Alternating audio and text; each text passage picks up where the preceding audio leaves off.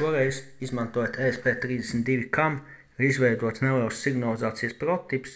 ESP32 kam tiek izmantots, lai jūs to varētu, piemēram, izmantot mājās, garāžā, istabā, kur tad, kad nostrādā šī signalizācija, kad sensori, piemēram, fiksē kustību, vai kāds ir atvērs jūs durvis, piemēram, nostrādā holoska sensors, tad jums cepas tiek nosūtīta bilde. Tāpēc ESP32 kam, protams, jūs varat izmantot to tiešsaistē, straumējot šos attēlu plūsmu kā video, un tad redzēt, kas arī notiek, bet vienkāršā gadījumā šoreiz būs uztaisīta šī demonstrācija, kas notiek tad, kad nosēž sensors, un jūs redzēsiet, ka šo SP32 kam var izmantot apbūvēt dažādiem sensoriem, lai tālāk papildinātu jūsu signalizāciju. Proti šobrīd, kamēr ir šis gaidīšanas režīms, kamēr signalizācija ir neaktīva, varam tā teikt, šobrīd patē maksimāls 100 70 mAh, 180, tāpēc, ka pieslēdzas pie Wi-Fi.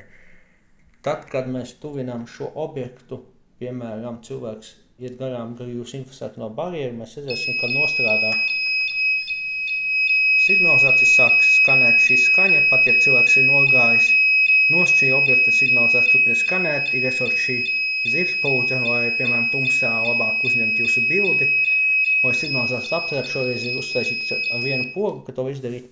Taču drošības nolūkos šo pogu iespējams paslēpt, vai arī uztaisīt, piemēram, ka jūsu signalizācija ir jāizslēdz ar vairākām pogām secīgi, vai arī ar kādu, piemēram, bezvadu komandu, ko jūs nosūtat. Bet, piemēram, šajā gadījumā tā ir poga.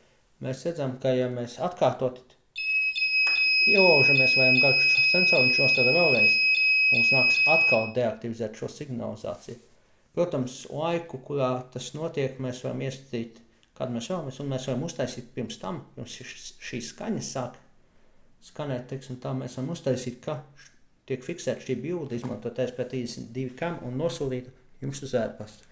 Tāpēc šis ir viens no izmantošanas piemēriem. Protams, jūs varat izmantot šādu ierīci arī citiem projektiem.